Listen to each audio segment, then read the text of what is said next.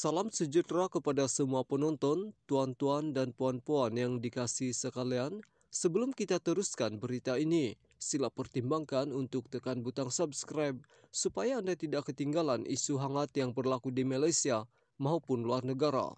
Anda juga dibenarkan untuk kongsikan video ini agar semua orang mengetahui isu hangat ini. Baiklah, isu hangat hari ini ialah Firma Peguam Syafi'i Co, Peguam Muhammad Syafi'i Abdullah, tidak lagi mewakili Najib Razak dalam rayuan bekas Perdana Menteri itu membabitkan kes rasuah SRC International. Dalam surat kepada Mahkamah Persekutuan bertarikh hari ini, firma itu memaklumkan bahawa Najib telah memberhentikannya daripada mewakili bekas Menteri Keuangan itu.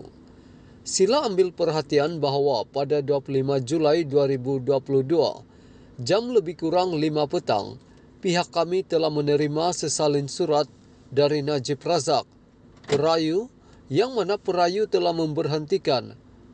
Dengan serta-merta Tetuan Syafi'i Co daripada bertindak sebagai kaunsil dan peguam cara yang mewakili beliau di dalam rayuan-rayuan jenayah ini dan prosiding-prosiding berkenaan.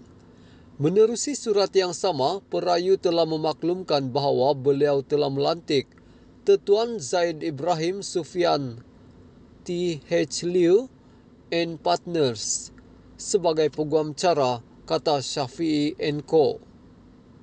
Surat itu menambah bahawa pihak mahkamah boleh menghubungi peguam Zaid Ibrahim untuk sebarang penjelasan lanjut mengenai perkara itu. Ketika dihubungi Malaysia kini, Peguam Muhammad Farhan Muhammad Syafi'i yang bertugas di Syafi'i Co mengesahkan kandungan surat itu. Mahkamah Persekutuan menetapkan 10 hari pada Ogos untuk mendengar rayuan terakhir Najib bagi membatalkan sabitan bersalah serta hukuman penjara 12 tahun dan denda RM210 juta bagi satu pertuduhan salah guna kuasa, tiga pertuduhan jenayah pecah amanah CBT dan tiga pertuduhan pengubahan wang haram yang dikaitkan dengan RM42 juta dana SRC.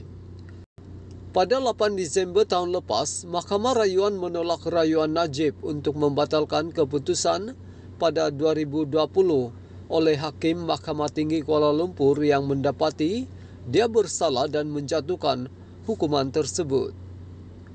Sebelum ini, anak syarikat 1MDB SRC merupakan milik penuh Menteri Keuangan diperbadankan MOF. 1MDB juga dimiliki sepenuhnya oleh MOF INC selain merupakan bekas Perdana Menteri dan Menteri Keuangan. Najib juga pernah menjadi penasihat emeritus SRC dan pengurus